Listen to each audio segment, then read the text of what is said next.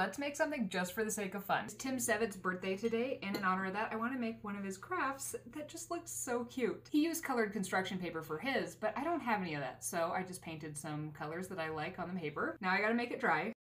Cut it out, and I'm gonna fold it in half and draw half a butterfly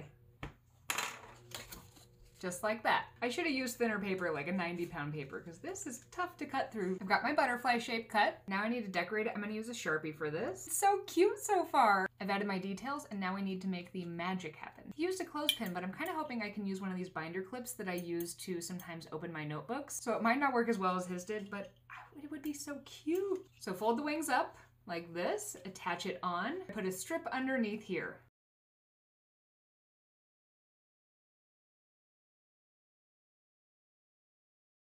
These were so fun to make. The clothespin one definitely flutters better than the binder clip one. This is the perfect just because project.